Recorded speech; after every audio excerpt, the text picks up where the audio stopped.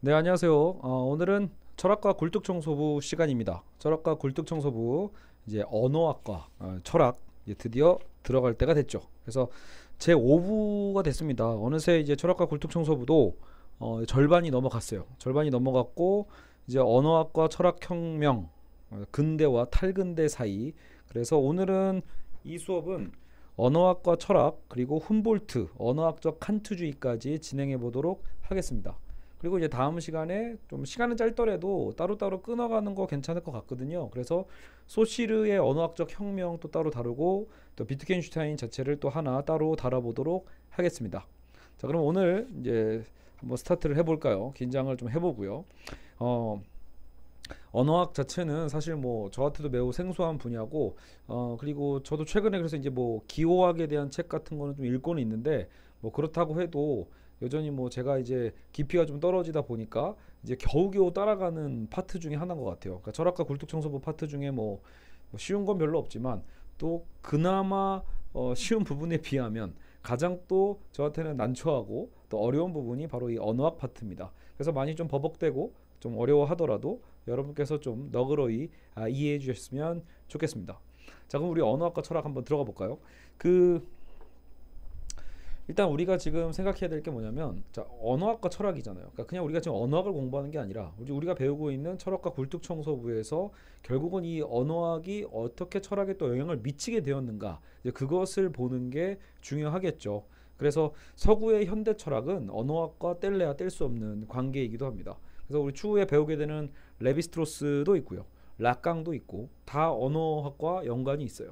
아, 그리고 어, 이, 결국 이렇게 어떤 프랑스 현대 철학자들뿐만이 아니라 어, 좀 이따 보게 되는 비트겐슈타인 그리고 러셀과 프레게 어, 버트란드 러셀은 또 우리나라에서도 꽤 알려져 있는 또 철학자죠. 어, 러셀의 그 철학 자체가 유명하다기보다는 예전에 뭐 그 한비야 씨의 어떤 추천 때문이었나? 그래서 어쨌든 러셀은 본인이 이제 그 노후에 썼던 어, 그런 이제 책들 이런 것들이 이제 우리나라에는 꽤 많이 팔렸죠.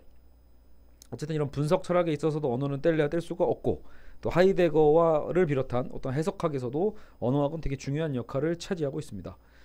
자 그러면 자 언어학이 대체 어떤 그 철학과 연관성이 있는가, 어떻게 밀접한 연결이 되는가에 대해서 우리 이제 살펴보게 될 텐데요. 자, 우선 하나의 사례로 시작을 해 볼게요. 지금 이 책에서도 매우 재밌는 사례가 하나 나와 있는데 바로 여러분 수업 시간에 여러분 졸아본 적 있으시죠? 잠을 자죠. 잠. 우리는 어, 어렸을 때 학창 시절에 책 어, 뭐 대학생 때도 사실 마찬가지더라고. 전 대학 가면 안 잘 줄 알았는데 대학 가도 졸고, 그죠? 우리 고등학교 때도 졸고 이렇게 우리는 많은 시간에 어, 잠을 잡니다. 집에서 자는 시간 외에는 사실 어때요? 우리가 어떤 이런 공적인 어떤 모임과 약속된 시간에서 잠을 자는 것은 사실은 예의가 아니긴 하죠. 근데 어쨌든 현실을 얘기하고 있는 거예요. 이 여기서 얘기하는 사례는 굉장히 현실적인 게 여러분 뭐 우리가 대놓고 선생님을 무시해서 잠을 자는 행위는 안 되지만 조는 경우 있잖아. 조는 거. 예. 우리가 수업 듣다가 저는 교회 다닐 때 교, 다니고 있죠 물론. 근데 예전에 특히 잘 졸았거든요. 너무 이제 그 교회에서 이것저것 봉사하다 보면 정작 내가 설교를 들어야 될 그 시점이 되면 정말 졸린 거예요. 그러니까 나는 의식적으로는 자 봐요. 내 의지는 내 의지가 잠을 자는 게 아니에요. 예. 내 의지는 잠을 자는 것과 아무 상관이 없고 그냥 버티 정말로 자지 않고 설교를 계속 듣고 싶어요. 목사님 설교 계속 듣고 싶고 그죠? 선생님 수업을 정말 끝까지 듣고 싶은데 너무 피곤한 걸 어떻게 그죠? 저도 대학교 1학년 때 또 학교에서 근로장학생이라고 하면서 학교 식당에서 일했거든요. 학생 식당에서 두 시간 동안 열심히 막 국 푸고 막 뭐 조리 도와주고 뭐 하다 보면 이제 그 점심 시간 끝나고 수업을 듣잖아요.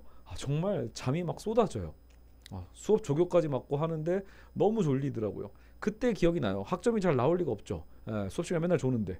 그러니까 여러분 우리가 보면 잠을 자 보세요. 잠을 잔다고 표현하죠. 근데 사실 우리는 뭐예요? 졸았다라는 표현도 많이 쓴단 말이에요. 그러니까 우리는 잠을 자진다란 말은 안 써요. 자진다? 이런 표현 여러분 써보신 적이 없죠. 그러니까 무슨 말이냐면 우리가 학교에서 잠을 잘 때 왜 선생님한테 혼나냐는 거예요. 선생님이 혼낼 때는 우리가 잠을 잤다고 해서 혼내거든요. 야 너 왜 내 수업 시간에 잠자 라고 하면서 뭐 분필을 던진다거나 아니면 뭐 어쨌든 뭐 해초리를 때린다거나 아니면 등짝을 스매싱으로 때리신다거나 어쨌든 해서 우리가 수업 시간에 잠자면은 에, 결국은 분명히 우리는 자고 싶어서 잔 게 아닌데도 에, 결국은 혼난단 말이에요. 아까 좀 제가 얘기했죠. 무시하면서 엎어져 자는 애들 말고 그냥 수업 시간에 졸 수 있단 말이에요. 근데도 선생님 입장에서는 야 너 왜 잤어? 이렇게 묻는다라는 거죠. 거기서 학생이 선생님 저는 제가 자려고 한 게 잔 게 아니라 저는 그냥 잠이 잦은 겁니다. 이렇게 얘기해봤자 선생님 우리에게 더 머리를 때리면서 혼낼 거다라는 거예요. 왜? 네, 문법에 그런 게 없어요. 우리나라 문법에 잠은 자진다라는 표현이 없어요. 그렇기 때문에 당연히 그것은 말도 안 되는 얘기로 치부가 되고 내가 잠이 들 수밖에 없었다라는 것을 설명할 수 있는 어때요? 방법이 많지 않다라는 거예요. 최소한 우리나라의 문법적으로는 그것을 말할 수 없습니다. 그러니까 바로 오늘 수업의 핵심이 바로 여기에 있는 거예요. 일단 우린 이것만 이해해도 오늘 수업의 절반을 이해한 겁니다. 다시 한 다시 말하면 뭐죠? 언어가 우리 한, 한글의 어떤 언어 체계죠. 우리는 한국인이니까 이 한국어의 언어 문법 체계 하에서 사실 우리는 사유할 수 있다라는 거예요. 이게 이제 언어학과 철학의 중요한 관계성이라는 거죠. 예, 우리는 사유에 대해서 사실 지금 공부하고 있잖아요. 그렇죠? 우리의 어떤 어, 어, 나는 생각한다 고로 존재한다부터 생각을 시작을 해서 우리는 과연 인간이란 무엇이고 진리는 무엇이고 뭐 이런 것들을 지금 고민하고 있는데 사실 정작 우리가 이렇게 고민하는 모든 과정이 다 언어로 되어 있다라는 게 함정이라면 함정일까요? 그러니까 우리는 언어학을 떠나서 철학을 할 수 없다라는 건 사실 매우 상식적인 거예요. 예, 그러니까 우리는 오늘 그 언어에 대해서 살펴보는 거죠. 그죠? 만약에 여기 또 다른 사례가 이런 거예요. 내가 삶을 사는 건지 아니면 사라지는 건지 우리가 인생을 살다 보면 어때요? 너무 힘들 때가 많잖아요. 그러다 보면 정말 인생을 뭔가 이렇게 내가 의, 의욕적으로 능동적으로 뭔가 인생을 살아간다는 느낌보다는 그냥 이리 치고 저리 치고 뭐 학생들은 뭐예요? 자기에게 주어져 있는 스케줄 다 그냥 공부하고 야자하고 그죠? 엄마들은 뭐예요? 어 이게 가정 주부로서의 엄마요. 커리어 엄마 엄마는 또 엄마대로 바쁘시고 가정주부 엄마들은 또 어, 애들 챙기랴 또 가족들 챙기랴 또 하루 종일 다 가고 그렇죠 다들 바쁘죠. 예. 그러니까 모두가 각자의 삶에 치여서 그냥 그렇게 살아가잖아요. 그러니까 우리는 이런 것들을 보면서 내가 삶을 산다라는 느낌보다 아, 그냥 사라지는 것 같은데? 어, 여차저차 사라지는 것 같은데? 이런 말 많이 하잖아요. 그러니까 사실은 역시 마찬가지예요. 우리나라 문법에서는 어, 내가 사라지고 있다라는 말은 쓸 수가 없다라는 거예요. 여러분 사라진다, 사라졌다 이런 수동형이 한국어 문법 체계에 없습니다. 예. 그냥 쓰신 그러니까 우리가 그냥 그러니까 문법을 그러니까 결국 우리가 하고 싶은 말을 하려고 어떻게든 요즘은 그것을 벗어나서 하려고 하기도 하고 혹은 어떻게 보면 여러분 이게 일본어가 잘못 번역돼 가지고 일본어에는 이런 수동태가 다 있거든요. 그러니까 일본어가 그렇게 번역돼 가지고 어, 오해하는 경우는 있더라도 정식 한국 문법 체계에는 그런 게 없어요. 사라졌다는 없습니다. 사라진다는 없습니다. 알겠죠? 그러니까 우리의 문법 체계 안에서 우리는 말할 수 있을 뿐이에요. 결국 우리는 살아가는 거죠. 예. 영어에서도 이런 수동태는 없다고 해요. I, I'm lived라고도 쓰지 않는다는 거죠. 어, 나는 그냥 내가 사는 거지 내가 사라진다 이런 표현을 쓰지 않는다는 거예요. 아까 자 그럼 우리는 지금 자진다 사라진다 이런 말은 없고 그러면 우리의 어떤 언어와 사유라는 것은 결국은 이런 문법적인 체계 안에서 이미 전제되어 있다라는 거예요. 말은 내가 하는 것이고 생각 역시 내가 하는 건데 그죠? 이것은 우리가 사용하려면 지켜야만 하는 문법에 이미 내장되어 있어서 거기에 따라야만 하는 규칙이라는 거죠. 여기서 언어와 철학의 관계를 바라보는 하나의 입장이 나타납니다. 우리가 이제 기존 시간에 니체를 배웠잖아요. 그러니까 니체나 초기의 비트겐슈타인이 지적하듯이 철학적 확실성이란 문법의 현상이다. 지난 시간에 왜 데카르트의 나는 생각한다 고로 존재한다를 어, 니체가 비판했던 거 기억나시죠? 예. 생각한다라는 서술어는 결국은 주어를 필요로 해요. 그렇죠? 이거는 결국은 스스로 존재하는 그런 자동사가 아니란 말이에요. 그러니까 자연스럽게 나는이 됐든 너는이 됐든 어쨌든 주어는 필요하거든요. 그러니까 그 주어를 결국은 이 수어를 통해서 주어가 필요로 할 수밖에 없으니 니체가 보기엔 이건 그냥 문법의 환상일 뿐이다라고 봤던 거예요. 그리고 어, 나중에 뵈겠지만 우리가 초기 비트겐슈타인 비트겐슈타인은 후기와 전기를 되게 구분을 잘해야 되거든요. 어쨌든 전기 초기의 비트겐슈타인도 마찬가지로 이렇게 생각을 했어요. 그래서 여러분 아까 버틀란드 러셀 얘기도 잠깐 했지만 논리 실증주의, 분석 철학 뭐 이렇게 얘기하는 계열이 있어요. 철학에서요. 보통 이제 오스트리아 쪽 학자들이 좀 주를 이룬다고도 표현하는데 거기에 영국의 러셀이 들어가고 또 플러스 아까처럼 초기 비트겐슈타인까지 포함시킬 수 있어요. 그렇게 되면 요 사람들이 그 주로 어떤 주장을 했냐? 논리 실증주의나 분석 철학에서 주로 주장했던 게 바로 이 언어의 문제에 결국은 굉장히 집착을 하게 돼요. 그래서 모든 철학적 문제는 언어의 문제다. 자, 우리가 우리가 그동안 생각했던 거 잘 생각해 보세요. 우리가 그동안 철학과 굴뚝 정섭을 통해서 생각했던 모든 것들이 다 언어잖아요. 근데 제가 설명하는 것도 결국은 다 뭐예요? 언어로 풀어내는 건데 저도 하다 보면 말도 안 되는 약간 잘못된 단어 쓰거나 잘못된 표현을 써가지고 여러분의 어때요? 의식을 더 혼미하게 한단 말이에요. 틀리는 경우가 많죠. 그러니까 언어가 규정 깔끔하게 규정되어 있고 혼잡하지 않게만 되어 있다라면 사실 어, 이런 어떤 복잡한 철학적 문제도 사라지는 게 아닐까 이런 생각들을 하게 되는 거예요. 그러니까 철학적 문제란 확실한 것을 찾는 문제거나 주체와 대상 간의 관계 등에 대한 문제인데 결국 이는 다 언어를 통해서 생각하는 거죠. 결국은 언어적 문제일 뿐이라는 거예요. 모든 철학의 문제는 모든 철학의 문제는 언어의 문제다. 자, 이거 부인 못하죠. 모든 철학의 문제가 언어의 문제라는 것. 그렇다면 언어의 문제만 풀어낼 수 있다라면 철학의 모든 문제도 풀어낼 수 있지 않을까요? 이런 생각을 이 계열에서 하게 된 거예요. 아, 그렇구나. 언어만 해결하면 되겠구나. 언어의 문제만 해결하면 그동안 이 수천 년 동안 이루어져 있던 우리의 그 고민, 모든 철학사의 고민도 다 끝낼 수 있어. 이렇게 생각하게 되는 거예요. 알겠죠? 그래서 언어상에 일단은 그렇다면 이 사람이 구체적으로 했던 거 뭐냐면 언어상의 혼란을 그러면 정리해 보자. 그리고 깔끔하게 만들자. 청소를 해버리는 거예요. 예. 솔직히 여러분 우리가 현실을 살아가면서 얼마나 많은 단어를 번잡하게 많이 씁니까? 비슷한 말, 똑같은 의미를 정말 다른 단어로 많이 쓴단 말이에요. 그렇죠? 진담인지, 어? 참말인지, 그렇죠? 진실인지, 뭐 뭐예요 이게 결국은 애매한 말들이잖아요. 다 하나로 통일시켜 버리든지 깔끔하게 만들어야 되는 거예요. 무언가 우리가 자꾸 우리가 그 칸트 배웠잖아요. 선험적 주체, 뭐? 판단 형식 이런 말도 어때요? 듣도 보도 못한 말들 아니에요. 그러니까 이런 것들에 대한 것이 다 결국은 쓰잘데없는 게 말이라는 생각으로 주장을 하게 돼요. 이쪽은요. 여러분 제 글씨 보이나요? 이 칠판에서 제 눈에는 잘안 보이는 것처럼 보이는데 여러분 그러니까 플라톤의 이데아 이게 뭐야? 현실에 있지도 않은 거, 현실에 보이지도 않는 것을 있다라고 표현하는 거죠. 그러니까 논리 실증주의자들은 뭐냐면요. 언어상의 혼란을 제거하고요. 우리가 보통 사용하는 일상 언어 자체가 이미 오염됐다라는 거예요. 그러니까 어떤 편견도 배제된 일관되고 명확한 언어를 아예 만들자고 얘기하는 거죠. 언어를 새로 만들자. 깔끔하게.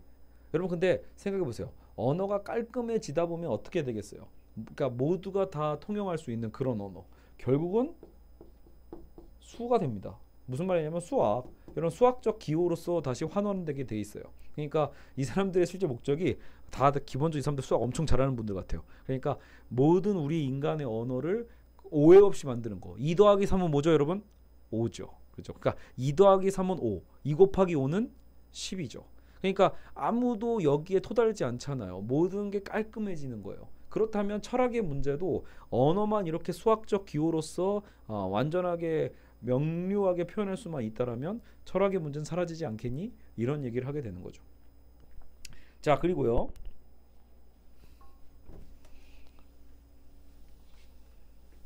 여기서 그리고 이제 이런 나아가서 이제 이런 사례가 나와요. 자, 언어가 내장하고 있는 이런 특징은 각각의 언어마다 상이하다. 다시 말해 사용하는 언어에 따라 사고할 수 있는 것도 달라지고 확실한 것도 달라질 수 있다라는 거. 자, 우리는 어차피 지금 진리, 지, 진리와 확실한 어떤 인식에 대해서 공부하고 있는데 언어가 달라지면 확실한 것도 달라진다. 지금 여기서 사례가 나온 거 뭐냐면요. 저도 전혀 모르는 시예요. 그래서 물론 확 어, 와닿진 않긴 하지만 My Sister Life라는 시집이 있대요. 네, 근데 이거는 보니까 러시아죠. 러시아어로 되어 있는 소설인 어, 시집인 것 같아요. 그러면 My Sister Life라는 시집이 있는데 우리나라 말로 번역하면 어때요? 나의 누이의 삶이죠. 그죠? 나의 누이의 삶. My sister life. 그죠? 근데 어, 이 시집을 체코어로 번역하면 문제가 생긴대요. 무슨 말이냐면 러시아어로 쓰여져 있는 이 시집에서 이 life는요. 러시아에서는 여성 명사예요. 저도 가끔 이게 신기하더라고요. 저는 이제 외국어 능력이 너무 떨어져서 사실 이런 거에 잘 감이 안 오지만 가끔 외국어들 보다 보면 저도 그 독일어 이렇게 뭐 어떻게 좀 일거래도 보려고 막 보면 남성 명사, 여성 명사 이런 게 꼭 있더라고요. 그러니까 여성형 단어가 있고 남성형 단어가 이미 어느 정도 정해져 있다는 얘기잖아요. 무법적으로. 어, 저 한국어는 딱히 그런 게 별로 없다 보니까 요게 확 와닿진 않는데 그 순서를 따라가 보시면 이해가 되죠. My Sister Life에서 러시아어에서는 이 life는 여성 명사다. 그러면 문제될 게 없죠. 봐요. My sister는 뭐예요? 어차피 누이잖아요. 그러니까 sister가 여성이니까 life가 여성 명사인 거는 아주 지극히 문법적으로 문제가 안 돼요. 근데 체코어에서는 러시아어는 그런데 체코는 남성형 명사래요. 골치 아파지죠. 그러니까 life가 남성형 명사면 당연히 이 주어는 남성이 나와야 돼요. 자 그러면 여러분 라이프란 단어 삶이라는 단어에 이걸 맞추려면 my brother가 돼야겠네요. 그러면 my brother가 되면 느낌이 어때요 벌써? 굉장히 터프해지잖아요 느낌이. 그러니까 이 시의 감성을 담아낼 수가 없게 되는 거죠. 당장 여러분 어떨까 이 시를 번역할 수가 없게 되는 문제가 생기는 거예요. 러시아로 되어 있는 것을 체코어로 번역할 때 결국 이 시의 가장 중요한 주제 자체도 바뀔 수밖에 없다라는 그런 사례를 보여주고 있는 거죠. 자 그리고 참고로 자 오늘의 또 그림입니다. 요 르네 마그리트의 그림이에요. 르네 마그리트가 그렸던 이것은 파이프가 아니다 라고 저 글자 쓰여 있죠. 아, 못 읽지만 그렇게 쓰여 있는 거예요. 자 근데 이것은 파이프가 아니다라는 요 그림이 실제로 좀 재밌는 게 그런 거예요. 아니 왜 파이프를 그려놓고 파이프가 아니라고 하지? 그렇잖아요. 지금 여러분이 보신 건 다 우리가 상식적으로 알고 있는 그 파이프죠. 그랬을 때 여기서 이진경 선생님이 이제 설명하는 건 그거예요. 맞는 말일까 이것이 과연? 이것은 파이프가 아니다라는 건 맞는 말일까? 아, 그 위에 있는 건 분명히 파이프 그림일 뿐이죠 사실. 여러분 결국 실물 파이프는 아니잖아요. 파이프 그림일 뿐이지 파이프는 또 아니기 때문에 맞는 말이기도 해요. 이것은 파이프가 아니다. 그렇다면 파이프라는 기호는 자 파이프라는 우리가 그렇게 부르잖아요. 파이프라고 좀 읽고 있잖아요. 읽고 있는 그 기호는 그죠? 어, 실제 파이프와 영원히 만날 수 없는 것인가? 그렇죠 여러분 그러니까 제가 파이프라고 쓴 기호를 여러분 읽자마자 바로 우리가 파이프 담배를 여러분 머릿속으로 떠오르셨을 텐데 실제 그렇다면 그 파이프와 파이프란 기호는 정말 그냥 따로 노는 것인가? 정말 만날 수 없는 것인가? 그렇죠? 그렇다면 실제 파이프를 지시하는 파이프라는 기호는 대체 뭘 지시하고 있는 것일까? 지시체와 만날 수 없는 기호는 대체 무엇에 쓰는 어, 물건일까? 이런 질문을 던지고 있습니다. 우리가 이제 나중에 소쉬르한테 가겠지만 결국 소쉬르 쪽으로 가게 되면 결국 이런 이름이라는 것은 자의적이거든요. 그러니까 사실 파이프가 아니어도 되는 거예요. 그죠? 파이프가 아니라 전혀 다른 이름으로 지었어도 우리는 그렇게 에, 약속만 되어 있다라면 그렇게 인식을 하겠죠. 결국은 어, 이 기호와 그리고 어떤 실체 기호와 지시체 기, 기호와 어쨌든 그 지시체 그 대상 그 자체 있죠. 그것은 어떻게 보면은 영원히 만날 수 없는 것일 수도 있습니다. 어쨌든 그런 부분에 대한 어, 우리의 혼란함, 이제 어떤 그 고민을 어, 던져주는 거죠. 자 어쨌든 우리 My Sister Life를 통해서 결국은 언어 언어별로도 얼마든지 다르게 해석될 수 있다라는 사례를 한번 살펴봤어요. 인간이 언어 속에서 사고할 수밖에 없다면 지금 우리가 살펴본 것처럼 몇 개의 사례를 통해 봤죠. 결국 이 언어를 그러면 연구하면 되지 않을까? 언어를 연구함으로써 혹은 사람들이 언어를 어떻게 사용하는가를 연구함으로써 인간의 삶과 사고에 대해서도 알 수 있지 않을까? 그렇죠? 아까처럼 물론 논리 실증주의처럼 좀 극단적으로 모든 철학의 문제는 다 해결할 수 있어 이렇게까지도 뭐 의욕적으로 얘기할 수도 있겠지만 결국 또 다른 언어학자들은 그런 고, 실제로 그런 생각을 하게 되긴 한 거예요. 우리가 정말 언어를 통해서 생각할 수밖에 없고 언어를 통해서 말할 수밖에 없고 그렇죠? 그래서 우리의 모든 어떤 문화적인 성취물들은 다 언어와 연관이 되어 있거든요. 그렇다면 이 언어를 연구하면 우리는 역으로 그 언어를 쓰는 사람들의 생각과 삶에 대해서 파악할 수 있지 않을까 이런 생각들을 그래서 소시르나 어, 노엄 첨스키 같은 언어학에서 그것이 발전하게 되는 거죠. 뭐 또 다른 흐름에서는 그래서 그런 어, 방식이 있다라면 후기 비트겐슈타인처럼 언어적 실천에 기초한 어떤 새로운 문제 설정을 에, 가져가는 측면도 있습니다. 이거는 뭐 지금 어떤 말인지 모르실 테니까 추후에 비트겐슈타인 편에서 또 다뤄보도록 할 겁니다. 자, 어쨌든 우리는 주체를 새롭게 이해하는 이런 언어학적 연구 방법에 대해서 이제 접근하게 될 텐데 그래서 오늘 본격적으로 본격적이지만 사실 이 수업의 반은 이미 벌써 끝났습니다. 우리는 훔볼트까지 진행을 할 거니까요. 훔볼트의 언어학적 칸트주의. 훔볼트. 이게 형제이기 때문에 아마 여기 형일 거예요. 우리가 지금 다루고 있는 사람은요. 그리고 제목은 자, 언어학자니까 언어학인데 언어학 플러스 칸트주의, 언어학적 칸트주의라고 일단 생각해 두시면 됩니다. 어, 결론부터 말씀드리자면 결국은 칸트가 얘기했던 선험적 주체 기억나시나요? 그 선험적 기억 잘 안 나시죠? 음, 그래서 칸트가 얘기했던 건 뭐예요? 우리가 나라고 의식하는 주체, 그 주체보다도 먼저 있는 것. 그 주체라고 의식하기 전보다도 먼저 있는 그 선험적인 주체. 그 선험적 주체가 선험적 지성 형식과 선험적 어, 감성 형식으로 나눠진다고 했잖아요. 그 선험적 감성 형식이 시간과 공간의 틀이었고 그리고 시, 어, 지성 형식이 바로 범주였어요. 그러니까 그 범주를 통해서 우리가 어떤 것을 인식할 수 있는 거거든요. 근데 이제 오늘 언어학적 칸트주의잖아요. 결국은 그 범주를 선험적 주체에서 얘기하는 그 범주를 언어로 싹 바꿔치기 하기 예, 이런 느낌으로 결과를 먼저 말씀드리고 시작을 하도록 하겠습니다. 자, 선험적 주체의 언어학. 자, 그래서 언어학과 철학이 언어와 사고가 밀접한 관계를 맺고 있다는 점에 주목하고 그의 이론을 체계화한 사람이 바로 훔볼트다. 이 사람은 외교관이었기 때문에 여러 언어를 다 아, 살펴볼 수 있는 기회가 있었대요. 자, 그래서 이제 우리가 다섯 가지 특징을 살펴볼 거예요. 다섯 가지 특징. 그래서 언어는 기본적으로 통일적인 유기체다. 유기체. 어떻게? 통일적인. 통일성이 있다라는 거죠. 그래서 언어라는 것 자체는 결국은 그냥 따로 존재하지 않는 거예요. 아까처럼 sister wife처럼 뭐 연결되어 있잖아요. 예, 어떤 단어와 어울리는 단어가 있죠. 그렇죠. 단어와 단어와의 어떤 관계는 아무 상관없는 게 아니라는 거예요. 그래서 어떤 그런 유기적 특성을 갖고 있다. 어. 자 그리고 이거는 뭐 제일 간단한 거니까 이건 그냥 언어의 특성이니까 이걸 뭐 깊이 얘기하면 얘기할수록 더 잠만 올 뿐이죠. 그래서 우리는 언어라는 건 실제로 관련 맺고 있다. 뭐 이런 내가 먹뭐 내가 그 배고프면 먹는 거죠. 사실은요. 졸리면 자는 거고요. 유기적이죠. 그러니까 유기적 관계는 어, 우리가 당연히 의심할 바가 없고요. 언어는 정신적 여기서 중요한 건 활동이라는 거, 활동. 언어는 활동이다. 자 무슨 말이냐?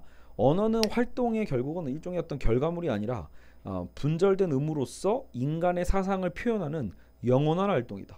예. 그러니까 어떤 이제 죽은 게 아니라는 거예요. 언어라는 건 죽어서 사장되어 있거나 멈춰져 있는 게 아니라 결국 인간의 사상을 표현하는 영원히 역동적으로 움직이는 이 영원한 활동성이라고 보고 있는 거예요. 그래서 그 근거가 뭐냐면 자 보면은 여기 어 인간이 하는 활동 없이는 존재하지 않는다. 물론 전체적으로 언어가 사유 활동에서 독립되어 있다라고는 봐요. 그 훔볼트도 언어가 사유 활동에서 독립된 것 자체를 부정하지 않는데 되게 역설적으로 그렇다고 사유하는 인간의 활동 없이 언어가 존재하지는 않는다는 거예요. 인간의 활동 없이도 언어가 존재할 수 있는 실체라는 당시 어떤 주장을 비판해요. 그러니까 당시에는 그냥 언어를 어떤 도구적 개념으로 봤던 것 같죠. 어, 언어는 그냥 도구야 말 그대로. 우리와 그냥 따로 존재하는 어, 그냥 갖다 쓸 수 있는 거죠. 채택하는 방식처럼. 하지만 훔볼트는 언어는 인간의 활동 없이는 존재할 수 있는 그런 실체가 아니라는 거예요. 그래서 그 사례가 여기서 들고 있는 게 라틴어예요. 라틴어. 저도 어릴 때 그냥 라틴어면 라틴족이면 이탈리아니까 이탈리아어인가 이렇게 생각을 했는데 지금 쓰는 이탈리아랑은 다르죠. 이 라틴어는 지금은요 사어라고 해요. 죽은 언어. 그 라틴어는 지금 쉽게 얘기해서 안 쓰여지고 있는 거예요. 됐나요? 그러니까 라틴어라는 건 어, 현재 우리가 한국말을 쓰잖아요. 한국말을 씀으로써 우리는 역동적으로 한국말을 계속 활동하면서 한국말도 별, 변천하죠. 말 그대로 우리가 여러 가지 한국어 사전도 바뀌는 것처럼 우리가 열심히 쓰고 사회화 그 사회하는 과정에서 변천하는 거잖아요. 활동성을 갖고 있어요. 근데 라틴어는 지금 그렇게 쓰는 사람이 없어요. 말하지 않거든요. 말할 수 있는 단어가 아니에요. 라틴어는 그냥 고대 문헌 고대에 쓰여져 있는 문헌들이 있기 때문에 그 문헌을 연구할 목적으로서 존재합니다. 알겠죠? 그러니까 훔볼트 얘기는 그거예요. 이거 봐라. 언어라는 건 사실상 만약에 자 라틴어는 현재 실제로 사, 생, 실생활에서 사용할 필요도 없고 대화할 때 쓰지도 않고 오직 유일하게 쓰는 방법은 고대 언어의 중요한 저서들이 있기 때문에 라틴어로 쓰여져 있는 성경도 라틴어로 해석된 부분 어, 버전이 있거든요. 그러니까 그런 라틴어를 공부하는 학자들에게 의해서 여전히 전승되어서 그나마 라틴어가 살아 있는 거지. 만약에 이 학문적 가치마저 사라진다면 과연 누가 라틴어를 공부하겠냐는 거죠.